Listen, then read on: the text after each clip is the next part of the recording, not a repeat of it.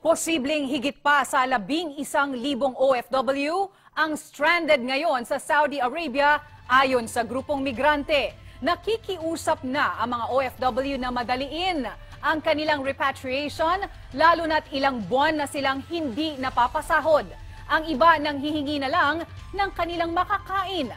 Mula Maynila may balitang global si Pia Gutierrez. Malayo sa pinangarap noong unang mag-abroad, tanging masamang alaala na lang ang bitbit ng grupo ni Raymart sa pag-uwi nila mula Jeddah. Ilang buwan din silang stranded sa Saudi matapos umanong malugi ang pinagtatrabahuan na construction company. Sa isang company pa lang, almost 4,000 na na Pinoy yung stranded. Noong una nade-delay lang ang bigay ng sweldo pero di nagtagal, tuluyan na silang hindi binabayaran. Sa hirap daw ng buhay nila sa Saudi, umabot na sa puntong nanghihingi na lang sila ng pagkain.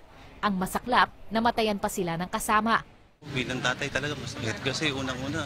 Kaya ako nagpunta doon para sa pamilya ko, para sa kinabukasan ng mga anak namin. Eh, wala akong magawa. Pero kung tutuusin, maswerte na sila dahil naigapang pa ng mga kamag-anak ang pag-uwi nila sa Pilipinas. Sa isang kampo sa Jeddah, halos 3,000 OFW ang ilang buwan nang nakatenga. Lahat sila nawalan ng trabaho. Hirap na hirap na po kami dito po at ang mga pamilya po namin ay na, talaga pong nag-aalala na po na po sa amin.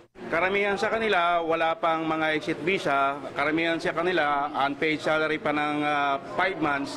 So, yung iba naman, nabigyan na ng exit visa. Although hindi pa lahat, Ayon sa migrante, hihigit pa sa tansya ng dole ang bilang ng mga stranded na OFW sa Saudi. Nasa 20,000 trabahador ang natanggal sa paghina ng ekonomiya ng bansa. Labas pa rito ang mga undocumented na OFW.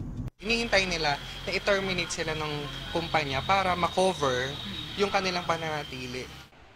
Bumuo na rin ang Rapid Response Team ang Department of Foreign Affairs para rito. Pia Gutierrez, ABS-CBN News.